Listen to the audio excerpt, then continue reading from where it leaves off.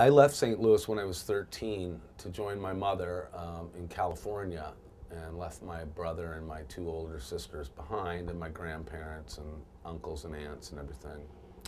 Um, because I pretty much knew what I wanted to do when I was, was 12 years old. I had an idea of, of what I wanted to do. um, so my formative years were spent in, in the Midwest in St. Louis.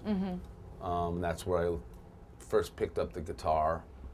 Um, Was your mother supportive of you being a musician?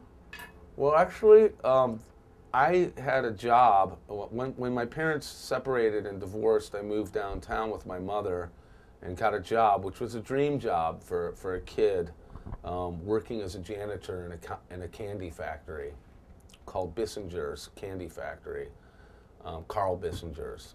And if you can imagine a kid quitting a job at a candy factory, um, you know what what would be the reason that a kid would would quit a job at a candy factory? Well i'll tell you i saw a ghost. Really? yeah i saw an apparition appear in the licorice room where the, the, the floors were covered with cornstarch and i was sweeping up. And carl bissinger had actually hung himself uh, up in the licorice room they had an intercom system where when I was downstairs, they'd always make me go upstairs by myself and, and clean up up there where, where he had hung himself. And I used to hear clanging and rattling and creaking up there, so I was constantly terrified.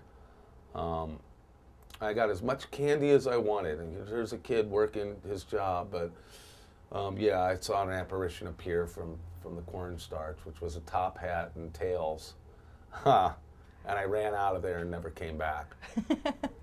but that's my speaking of my parents not being suppo- totally supportive the reason why i was working there was to, to um, um, make money to buy my first guitar and which i did